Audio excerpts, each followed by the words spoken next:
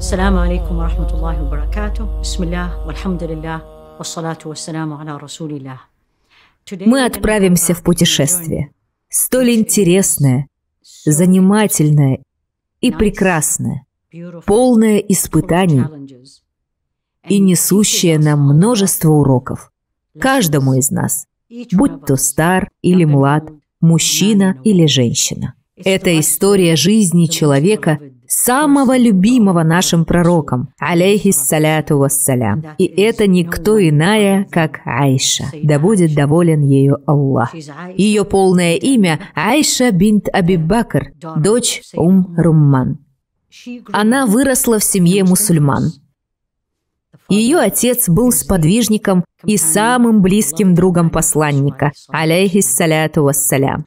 Родом она была из племени курайшитов и родилась спустя четыре года после того, как пророк, алейхиссаляту вассалям, получил божественное откровение. Она была любимой дочерью своего отца Абу Бакра.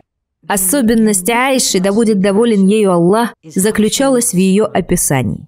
В книгах о ней мы обнаружим как минимум 10 особенных качеств, которыми мечтала бы отличаться каждая женщина, да и каждый мужчина. Давайте рассмотрим их. Во-первых, она была красавицей. Согласно описаниям, она была хрупкого телосложения. Она ставила высокие цели. Она всегда стремилась получить больше. Только не в мирской жизни, а в жизни грядущей. Она была невероятно наблюдательной и обладала безупречной памятью. Ее речь была внятной, ясной. Она была не по годам умной и знающей. Это лишь одна из ее отличительных черт. Она разбиралась не только в вопросах религии. Многие скажут, конечно, ведь она выросла в доме пророка, алейхиссаляту вассалям.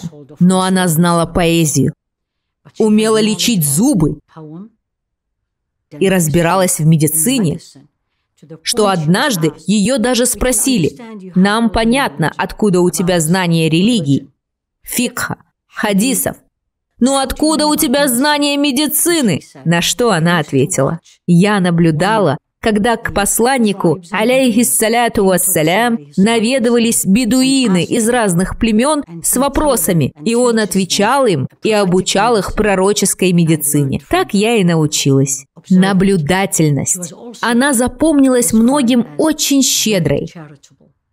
Известная всем история о том, как она держала пост. Все знали, как она часто постилась. А случай этот произошел во времена Умара, да будет доволен им Аллах. Он отправил им нечто подобное ежемесячному пособию, и она велела своей помощнице раздать его людям. Сама она постилась. Когда же пришло время разговения, она посмотрела на помощницу и попросила ее принести еды. Та ответила ей, но у нас ничего нет. Помощница добавила, почему ты не оставила немного денег нам на еду? На что Айша ответила, что же ты мне не напомнила? Субханаллах. Рассказывали, что она любила поиграть. В еще одной известной истории о ней рассказывается, как она бегала на перегонки с пророком, алейхиссаляту вассалям, два раза в его жизни. Первый раз, когда она была помоложе, и тогда она победила. Позже они снова соревновались, и победил он. Он засмеялся, алейхиссаляту вассалям, посмотрел на нее и сказал, «Это за тот раз».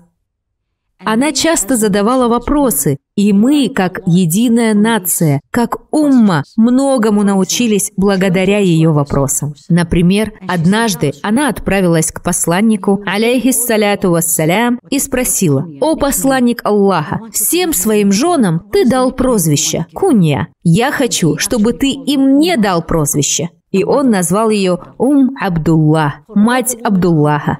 Всем женщинам, которым Аллах не предписал иметь своих детей, послушайте следующее. У самой любимой и самой известной женщины в исламе не было детей, хотя она была младшей женой пророка, алейхиссаляту вассалям. Если вы почитаете комментарии ученых на этот счет, то узнаете, что когда Аллах лишает вас определенного блага, то даже не сомневайтесь в том, что Он восполнит вам чем-то лучшим. Чем же Он восполнил ей? Глубокими знаниями любовью посланника, алейхиссаляту вассалям, всем тем, что она сделала для этой уммы. У нее было прекрасное чувство юмора. Однажды она сказала пророку, «Бывают лошади с двумя крыльями, двукрылые?» Он переспросил, «Лошади с двумя крыльями?» И она сказала, «Да, Сулейман, мир ему, ездил верхом на коне с двумя крыльями. Пророк засмеялся и сказал, да-да, все правильно. Когда мы встречаем супружескую пару, многие из нас интересуются, а как вы поженились? Так как же они поженились? Алейхиссаляту вассалям с Айшей, да будет доволен ею Аллах. Все благодаря Аллаху, субханаху ва та'аля. И пророк, алейхиссаляту вассалям, сам рассказал ей, дважды ты явилась явилась мне во сне. В одном из них я увидел изображение лица под шелковой тканью. Я приподнял ее, чтобы разглядеть, кто это, и увидел тебя. А в другой раз он увидел во сне, как просит у Абу Бакра ее руки. Какой же высокой жизнью они жили. Приводится, что она была главной опорой посланника, алейхиссаляту вассалям. Аллах восполнил утрату Хадиджи да будет доволен ею Аллах, единственной опоры пророка, алейхиссаляту вассалям, появлением Айши. Да будет доволен ею Аллах. Завтра, инша Аллах, мы продолжим рассказ о том, какой еще памятный след она оставила после себя.